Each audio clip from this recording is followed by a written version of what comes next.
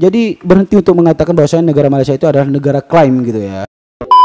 Assalamualaikum warahmatullahi wabarakatuh dan ya balik lagi bersama aku di sini Sahlan.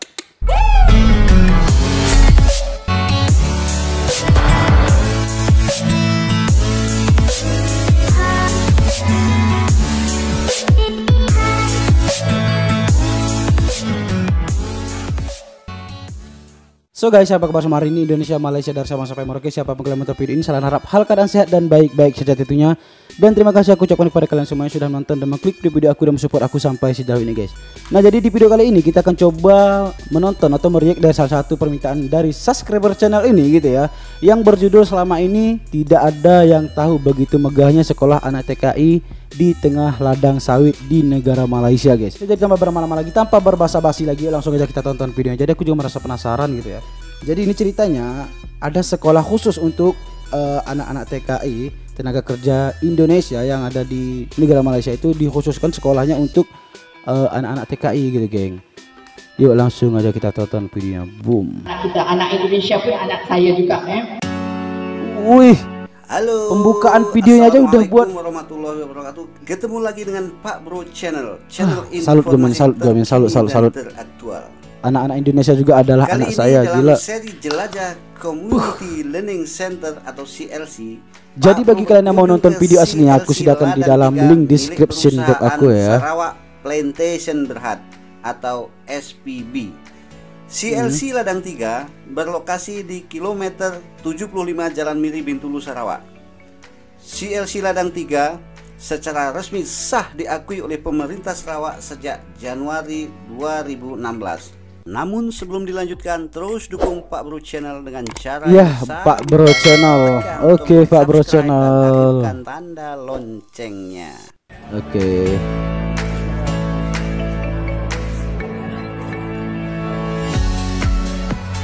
Wow, jadi ini adalah sebuah sambutan ya.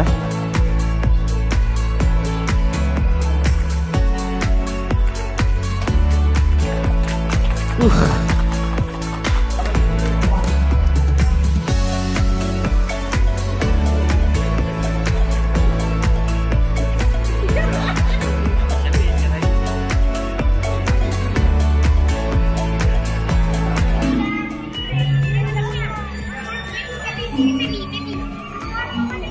Ini ini tarian Jawa, geng. Ini tarian Jawa. So tunggu sebentar. Nah, ini adalah tarian Jawa. Nah, jadi kemarin ada yang bilang bahwasanya negara Malaysia itu negara klaim, negara klaim. Jadi cerita itu kronologisnya itu seperti ini, geng, seperti ini ya. Jadi banyaknya TKI TKI yang bekerja di negara Malaysia, bahkan sudah menetap di negara Malaysia, bahkan juga sudah berkahwin atau sudah menikah dengan warga negara Malaysia gitu ya. Yang mana awalnya itu eh, merantau dari Indonesia ke negara Malaysia gitu ya. Yang tahu-taunya mendapatkan jodoh orang Malaysia gitu. Jadi otomatis beranak pinak di sana gitu geng ya. Otomatis mempunyai keturunan gitu. Jadi logisnya pasti ada tarian-tarian Indonesia di negara Malaysia geng. Bahkan yang melakukan tarian di negara Malaysia itu adalah orang Indonesia sendiri gitu men. Jadi bukan berarti rakyat Malaysia itu mengklaim sebuah tarian-tarian yang ada di Indonesia guys. Yang jelasnya orang Indonesia yang merantau ke negara Malaysia sudah berkahwin juga di sana, sudah berumah tangga di negara Malaysia. Jadi secara otomatis sudah sah menjadi penduduk negara Malaysia guys. Ya secara otomatis pasti melakukan sebuah adat istiadat yang mana memang dia warga Indonesia dan melakukannya itu di negara Malaysia guys. Jadi berhenti untuk mengatakan bahwasanya negara Malaysia itu adalah negara klaim gitu ya. So lanjut lagi kita videonya guys. Nah ini tarian Jawa ini ya, ini tarian Jawa loh. Rangka mendampingi kunjungan menteri dari Sarawak yang sangat peduli dengan pendidikan anak-anak dengan tidak memandang dari negara mana asalnya. Anak-anak ini Betul. tidak tahu apa-apa, yang jelas mereka mempunyai hak untuk mendapatkan pendidikan. Bahkan Benar, benar, benar. mengatakan Setiap bahwa anak mempunyai hak anak-anak untuk Indonesia pun pendidikan. adalah anak saya juga. Parah parah. Huh. Begitu besarnya dan begitu mulianya beliau, ya hingga sampai terucap dari mulutnya itu gimana ya? Anak-anak Indonesia juga adalah anak saya gitu men.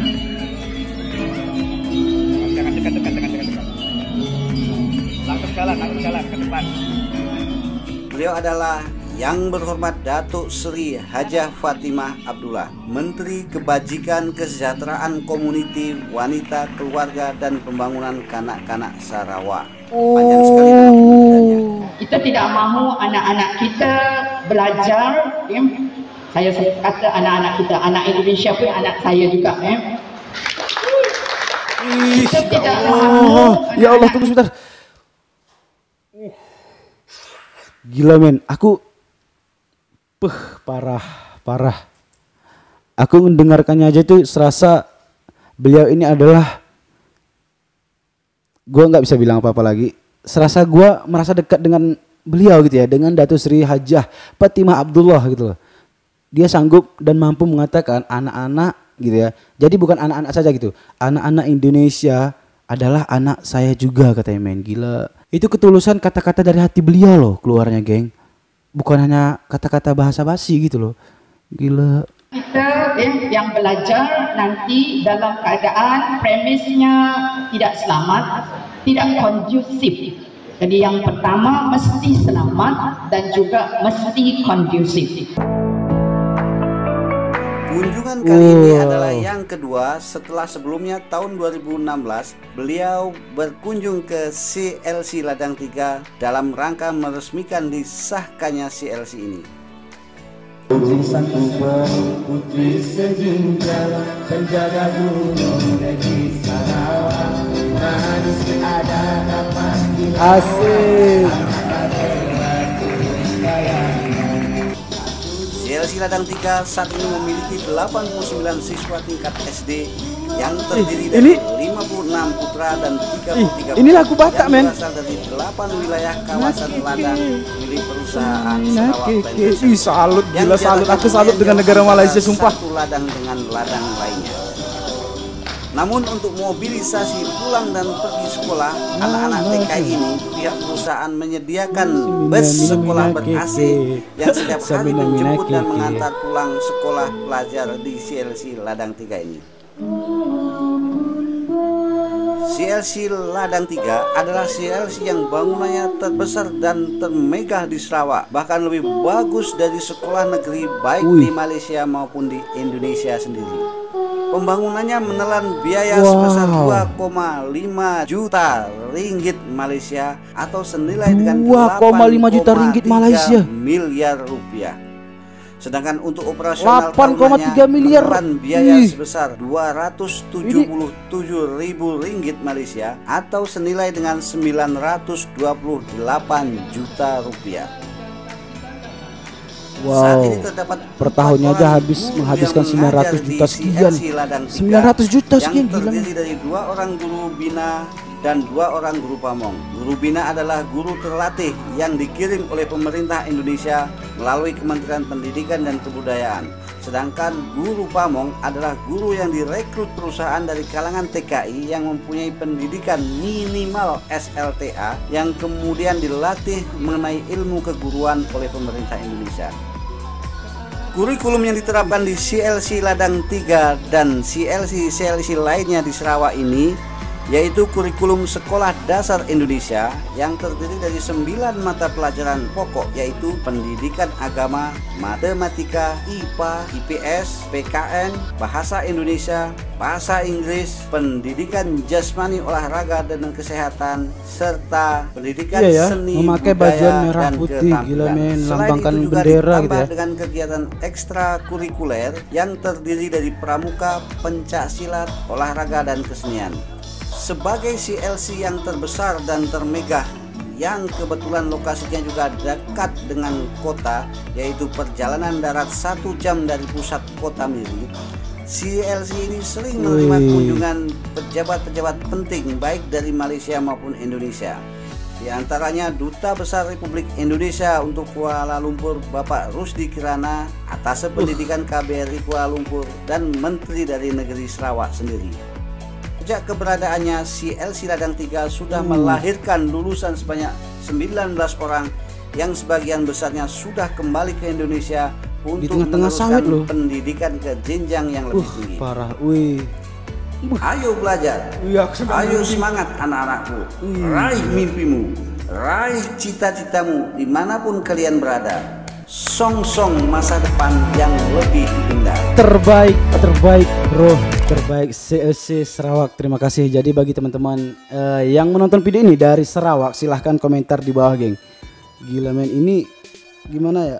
Aku sangat salut dengan ya dengan perlakuan ini gitu ya. Menurut aku gila men.